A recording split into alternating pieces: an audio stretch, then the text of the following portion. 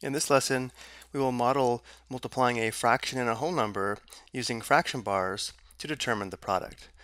Looking at the table below, in the first column we're given the product, in the second column we're asked to illustrate a model, in the third column we're asked to write a multiplication sentence.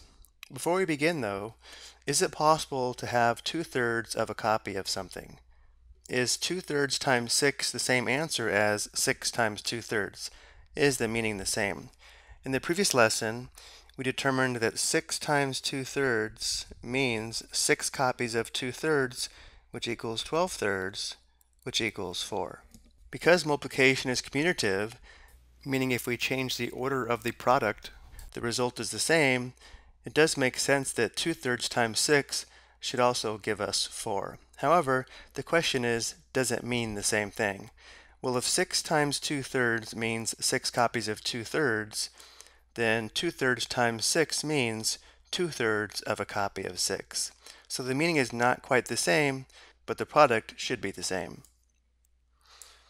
So if we want to model 2 thirds of a copy of 6, we begin with 6 and then determine what 2 thirds of a copy of 6 would be.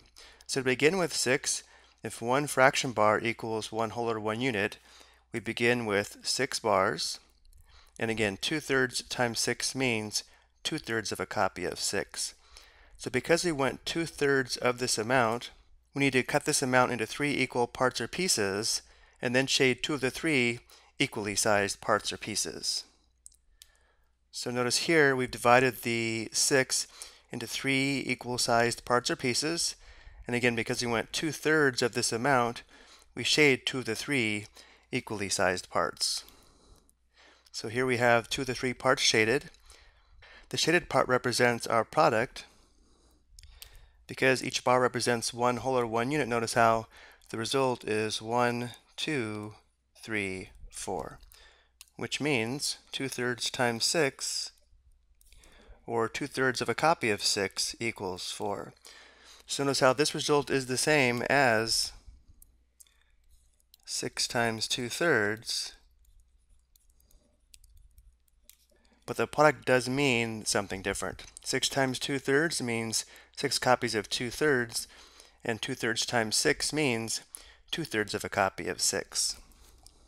Looking at the second example, we have 3 fourths times 6, which means we want 3 fourths of a copy of 6. So once again, we begin with 6, and because we want 3 fourths of this amount, we need to begin by cutting this amount into four equal sized pieces or parts and notice how this time we cannot easily divide this amount into four equal sized parts or pieces horizontally, and therefore this time we'll divide this amount vertically into four equal sized pieces, which would look like this. Again, notice how we began with six, we divided six into four equal sized pieces of parts, and because we want three fourths of this amount, we shade three of the four equal sized pieces so the shaded region represents 3 fourths of a copy of 6. Looking at each bar though, notice how each small piece represents 1 fourth of one whole, so let's count the number of copies of 1 fourth we have in the shaded region, which will give us our product.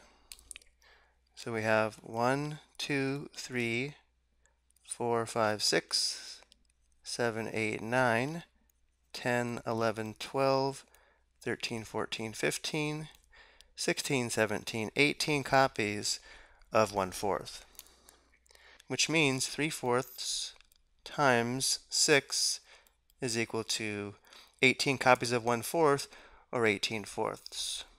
This is one possible multiplication sentence for this product. However, we may notice that 18 fourths does simplify because 18 and 4 share a common factor of 2. If we divide 18 by 2 and 4 by 2, Notice how this fraction simplifies to 9 halves. So we can also write 3 fourths times 6 is equal to 9 halves, expressing the product in simplified form. Let's go back to our model and see why this amount is 9 halves, or 9 copies of 1 half. Notice how every time we have two copies of 1 fourth, we also have one copy of 1 half.